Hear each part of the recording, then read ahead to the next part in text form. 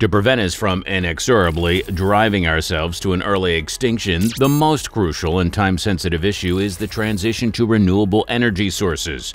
But guess what? Carbon capture technology and unsurprisingly, Elon Musk holds special significance in this whole process. How?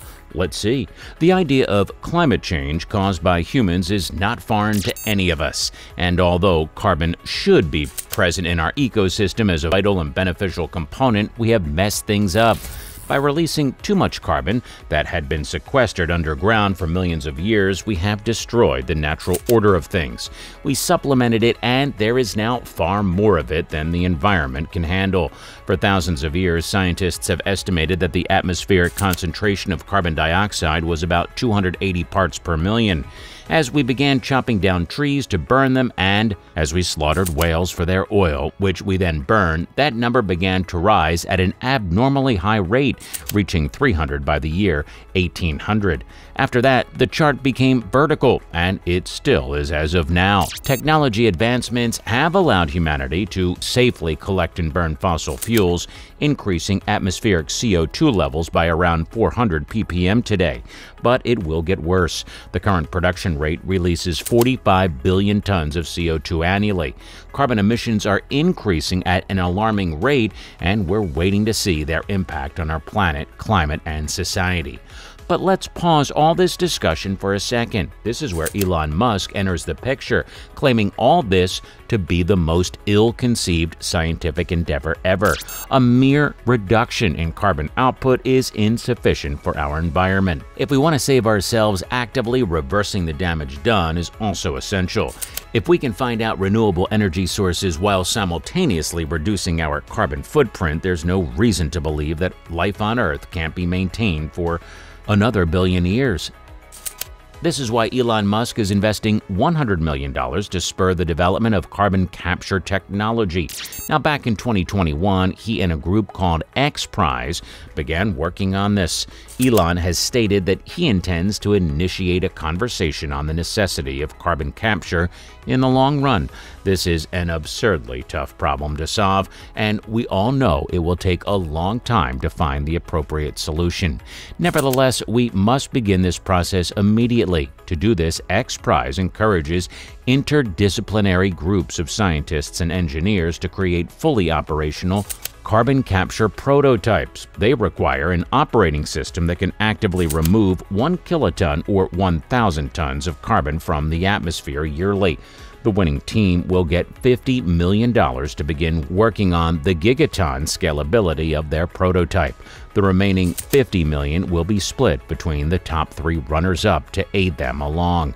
And because the competition will last for four years, we won't find out who won until 2025. Although we have already come far in the video, there is an essential thing we have not discussed yet. How does carbon capture actually work, or rather, what does it refer to? The carbon capturing process involves catching, or better said, capturing, as the name indicates, any carbon dioxide before it's emitted into the atmosphere. Now, currently, the most used method is known as direct air capture, or DAC.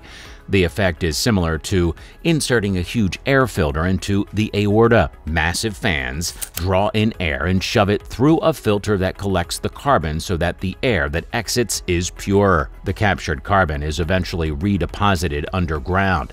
Iceland is home to the world's first and currently only commercial-scale DAC facility. The plant is called Orca and is run by a firm called Climeworks.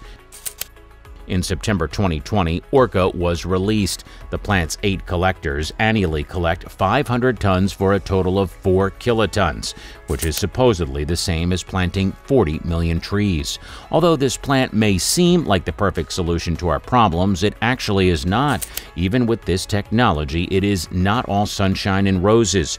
At present, we still lack the knowledge to make DAC sufficiently energy efficient to be truly effective. These capture plants consume a tremendous amount of energy while operating. A windmill farm the size of a major city would be required to power a large-scale DAC using only renewable energy sources. But do not worry. we have other options as well. Carbon capture in the ocean can also be accomplished through natural means. Ingenious plans are being considered right now to cultivate massive populations of algae in the open ocean which would then absorb carbon from the water and air. Sea plants can be used in a similar fashion.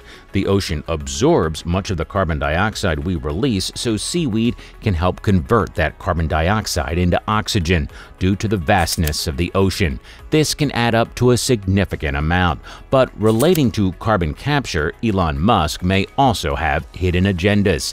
He is reportedly considering Mars as a backup home for humanity.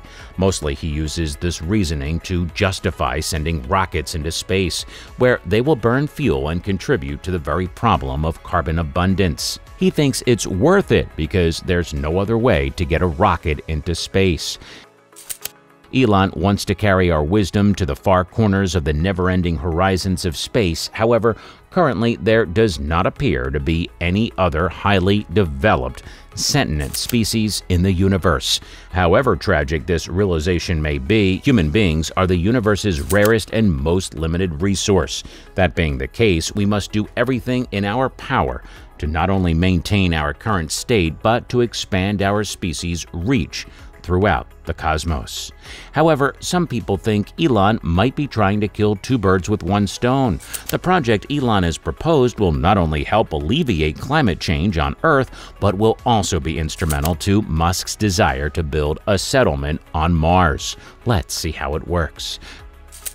The initial step is a trip to Mars. We use an oxygen and methane fuel mixture to power our Starship rocket. We already have oxygen in our environment. To get methane, CO2 is combined with hydrogen and a catalyst. This process results in the production of methane and water. Now, you may be beginning to understand the significance of capturing carbon. Whatever carbon we can manage to extract out of our environment, Musk plans to use it for making methane. Even a massive rocket like Starship can only carry enough fuel to get us to Mars and land. After that point, the fuel will be completely depleted and the ship will be unable to return to orbit. You may become stranded on Mars after this, but again, Elon Musk has our back. SpaceX selected methane as Starship's rocket fuel largely because it is a resource that can be mined on Mars. The collection of methane gas must, however, be done in a more indirect manner. To understand this, I require you to take a flashback to your elementary level chemistry courses. Methane is a byproduct of hydrogen and carbon. Thus, we only need to join these two components, and alas, we have our rocket fuel. Hydrogen and oxygen combine to form water, and we know that water exists on Mars in the form of ice.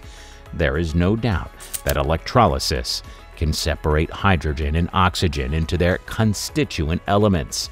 On Earth, this practice is commonplace. This means that we now have both hydrogen and oxygen, and now all that is left is to breathe.